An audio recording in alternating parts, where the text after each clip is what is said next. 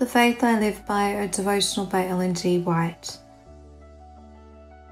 As it was in Noah's day, and as it was in the days of Noah, so shall it be also in the days of the Son of Man. Luke 17:26.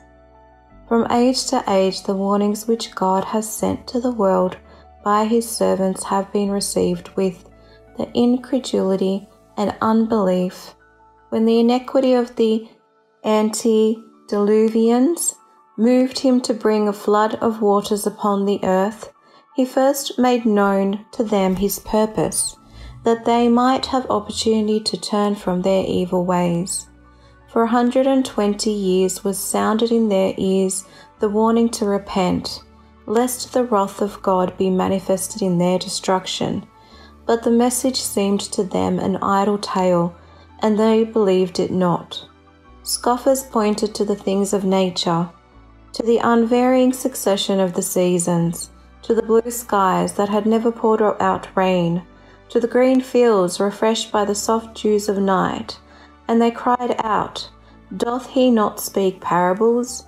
In contempt they declared the preacher of righteousness to be a wild enthusiast, and they went on more eager in their pursuit of pleasure, more intent upon their evil ways than ever before. But their unbelief did not hinder the predicted event. Christ declares that there will exist similar unbelief concerning his second coming. As the people of Noah's day knew not until the flood came and took them all away, so, in the words of our Saviour, shall also the coming of the Son of Man be. Solemnly there come to us down through the centuries the warning words of our Lord from the Mount of Olives.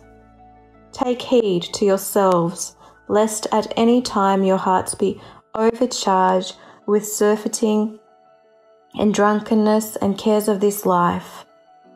And so that day come upon you unawares. Watch ye therefore and pray always, that ye may be accounted worthy to escape all these things.